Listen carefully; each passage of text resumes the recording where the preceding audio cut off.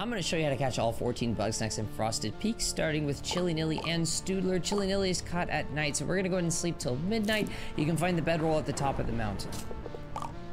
Alright, once you wake up, jump behind the tent off the mountain here. You'll find the mouth of this cave, and the Chilly Nilly and the Stewdler are right next to each other. All you have to do is shoot some chocolate at the Stewdler. Chilly Nilly will collide with it, they'll put each other out, and you can capture both. Bam. Next up is Scoopy Banoopy. We'll get to these three before it later. These are the three pieces of a Scoopy Banoopy. We're gonna catch a whole one first. You can see it right here. And I already have it scanned to see its patrol route. So what you need to do is intercept it with a trip shot that's on fire. In order to do this, just put a trip shot on top of a campfire or a torch receptacle, something like that. And then just wait for it to intercept it. Alright. Easy. Next up, I'm going to show you how to catch Aggroll. For Aggroll, you need to go into this cave over here, where the two torches are, along with a Daddy Cake Leg statue if you are on PC. Aggroll is going to be frozen solid. It is this icicle right over here. So just like what we did with the Scoopy Banoopy, put a trip shot in the torch, stick it to this ice, and you will free the Aggroll. Once the Aggroll is free, you'll notice it has the symbol on it for a for a grapple. or apparently you can grab it with your bare hands like I just did. But you can also grapple it off, toss it, and then just like with the the pickle, you can just net it once you've removed its little shell. Next up is Chippy. Chippy is going to be on higher ground. So we're gonna go ahead and head up and find Chippy. So Chippy is super easy to capture. You just gotta be patient. We know what's going to come here, so all we have to do is put a launch pad along with a trip shot. We're gonna attach it to this icicle right here, get it as low as possible as Chippy is a pretty small bug snack. And then when Chippy comes on through, he'll be stunned. You can run up to the Chippy if you want to make him run a little bit faster because he does a little dash. And grab the Chippy. There's a pretty generous hitbox on the trip shot, but just in case, try to get it as low as you possibly can. Next, we're gonna go ahead and capture Mount Sodie. We'll come back to Flutterjam when it's daytime. Mount Sodie swims in a circle right here. Do not enter the water. Do not put your traps in it. They will freeze. But you can put your trap on the edge of the ice right here. And Sodie will get close enough to capture without having to put your trap in the water. Next up is Instabug.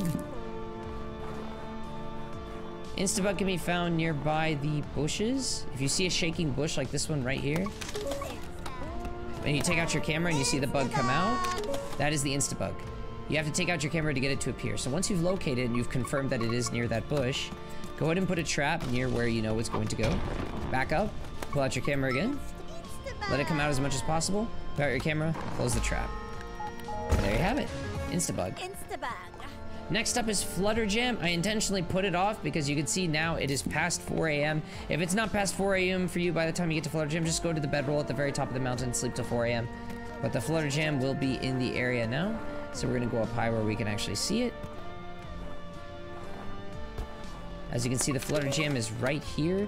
Now, Flutterjam is actually extremely easy to capture. All you have to do is shoot it with some sauce, shoot it with some peanut butter, but don't shoot it right, like I can shoot it right now. I don't want to shoot it right now because if I do, I will launch it off the map. You want to launch it in a direction that's either towards the mountain or towards the front of the area where you can easily capture it. So this is a safer angle. So I'm going to shoot it right here. You can catch it. In that case, it fell straight down, but sometimes it'll actually get launched by the momentum and fly off the map, depending on the angle you shoot it from.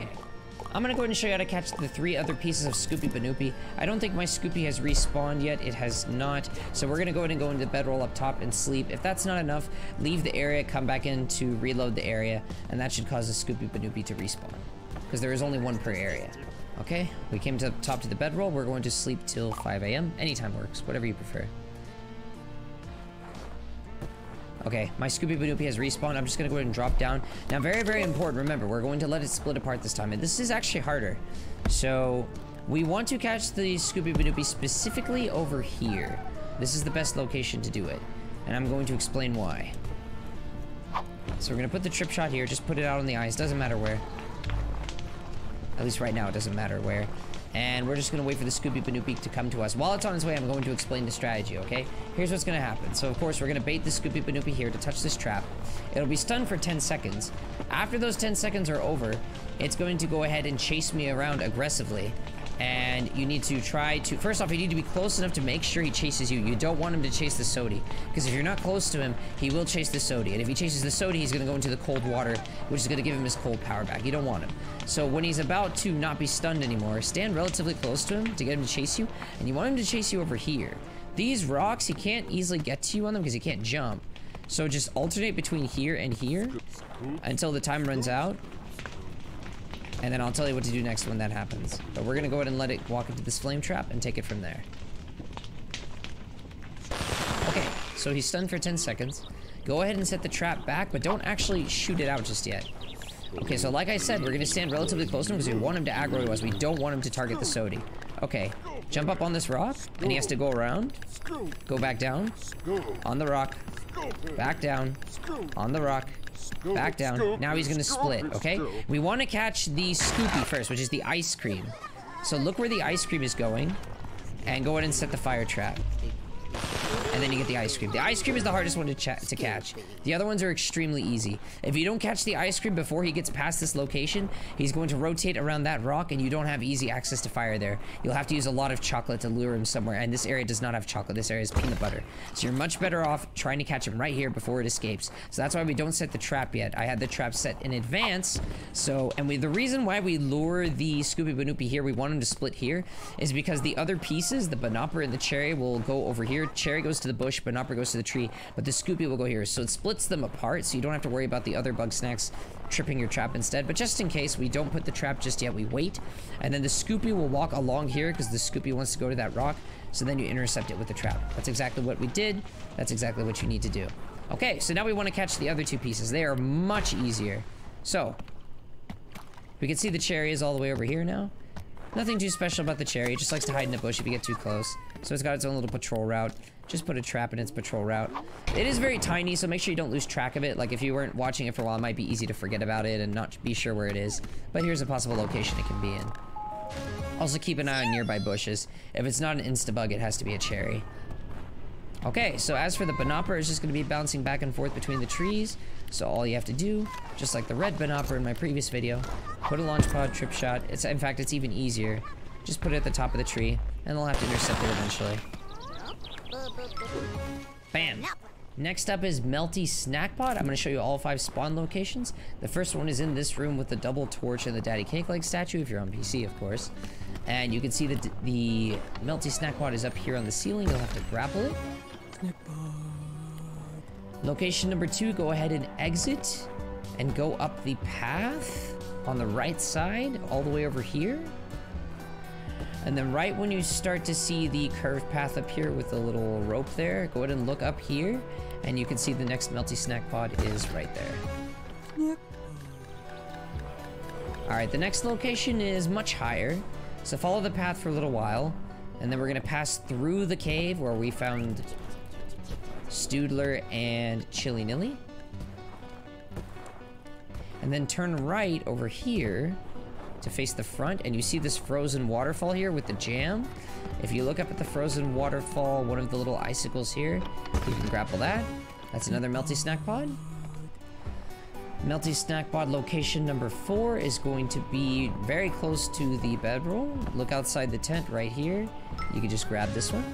And Melty Snakpod location number five is very close to the stone door that leads to the end of the game. So you can just jump all the way down. And then on this tooth right here is a Melty Snack Pod.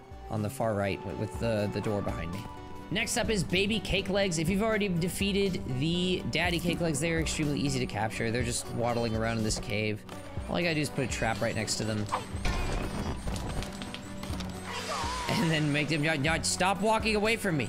You're so cute, stop with the waddles. Yeah, you just catch him. Why are you mean to him? He's already trapped. You don't need to bully him in the trap. Lastly, Daddy Cake Legs. If you are on PC, then you should hopefully have this summon statue right here. We're gonna go ahead and summon the legendary Bugsnax to take him out. Alrighty. So, we're going to start by putting a trip shot on one of these torches. You can see the little candle right there. We're going to aim the trap at the wink. So what you need to do is predict where his winks are gonna go, with the candles, and you need to aim it at the just the right level, so when he walks into the fire trap, it lights with the winks. So it lights that one. Now, it gets a little bit harder once you've already lit one, because he can walk in really weird directions. You need to try to predict where the second wick is going to end up. Okay, so I can't really do it right now because he's walking this way with the wick. But right there should work. Yep, got it. There we go. So that's phase one. He starts here. You can wait for the little cake legs. It's really cute. They will actually go to the location where the daddy cake legs is. But it's the same location every single time. We know exactly where it's going to be. So we're going to go over here. Jump down. The next daddy cake legs location is right here next to the big stone door. So we only have one fire source this time. Put the trip shot here. Aim at the wick. This location is a little bit trickier. He has very, very bizarre movement in this location. I personally struggle with this one the most. We're gonna go ahead and put the trap here. That was incorrect. Put the trap back. There's no timer here. You can try as much as you like. Ah, uh, this time he went backwards that way. No, no, this one. I usually refer to either this icicle or that one. The middle or the left ones are the best ones to go for. the baby cake legs are here. No, no, that's facing the wrong way. Ah, but that one would have worked. So that was a direct hit. I don't advise doing that. It's best to set the traps. This location is just a little bit trickier. Especially once you've lit one of the wicks. Alright, once again, the baby cake legs are going to go to the location of the daddy cake legs. You can either just follow them if you forget where daddy cake legs is, or you can just go there yourself. We already know where it's going to be. It's the same location every time. This time it's on the far right side. So we're going to go ahead and head in that direction. This one is extremely easy. You would think that the final location is the hardest. It's actually the easiest. It's very, very predictable. So we're going to go ahead and ignite the wick.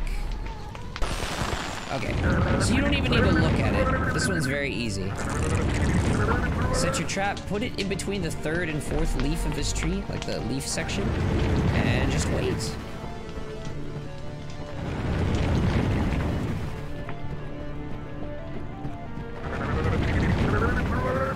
And it's going to intersect with it. Bam.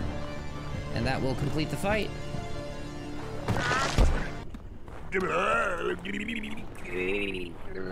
Like I just walk up to it and net it. GG. And if you want to know what a daddy cake legs looks like in the petting zoo, let me go ahead and show you. So here we got the daddy cake legs. Oh my gosh, he looks so sad. Look at those eyes. He looks so depressed. Oh no, daddy cake legs. Let me pet you. I'll make you feel better. Daddy cake legs. Daddy cake legs. I think that's Daddy Cake Legs for please end my misery. Get me out of here. Help. Does Gramble feed you enough? Are you treating him well? He doesn't look happy. W what do you feed him? You're not answering me. Come on. He does not look happy, the poor thing. At any rate, there you have it. I've shown you how to catch every single Bugsnax in this game and all the major areas. If you found these videos helpful, including this one, of course, make sure you don't forget to like and comment. I do upload a new video every single day, so make sure you subscribe to the notification bell so you never miss out. I also stream daily on Twitch starting at 12 p.m. Central and ending at 4 p.m. Central, so make sure you follow me there to catch when I'm live. Link is in the description. But that's going to be it for tonight. Thank you for tuning in. Hope you had fun, and I'll catch you next time.